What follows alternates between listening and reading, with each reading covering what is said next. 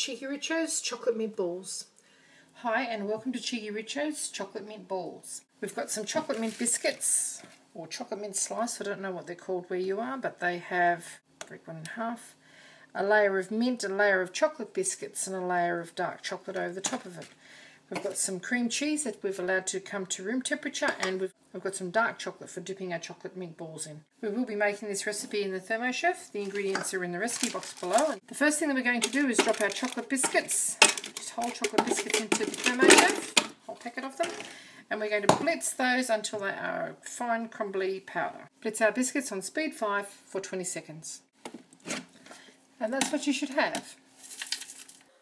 Now we're just going to add our cream cheese all in at once and mix that until it's well combined.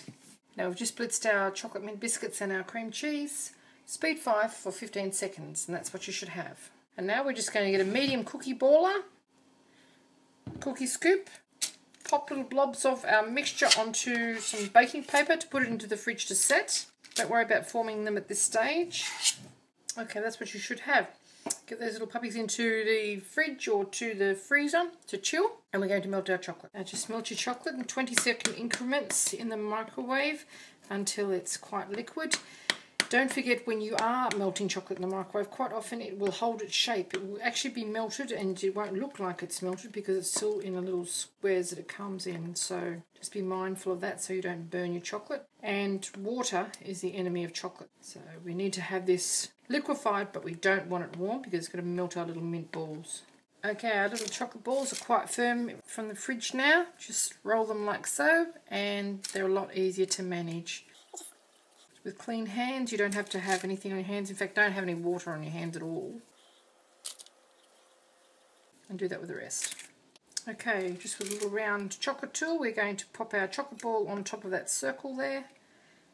Spread our chocolate all around. Be as quick as you can here because you don't want that chocolate to start melting the biscuits and fall back into our chocolate mix. just push him off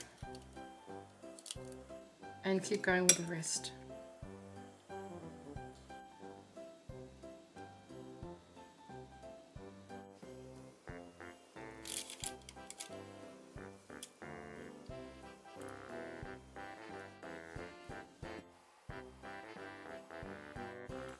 Cheeky Richo's Chocolate Mint Balls.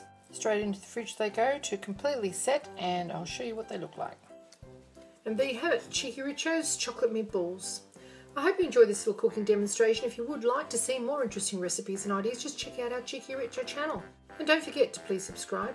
Do come back and visit us again soon. We have so much more to show you and we're uploading lots of videos every week. And thank you very much for watching. Have a lovely day. Have a little bite, shall we? Mmm, my my, that is so nice. Thanks for watching. And there you have it, Cheeky Richo's Chocolate Meatballs. Cheeky Richo's Chocolate Strawberries.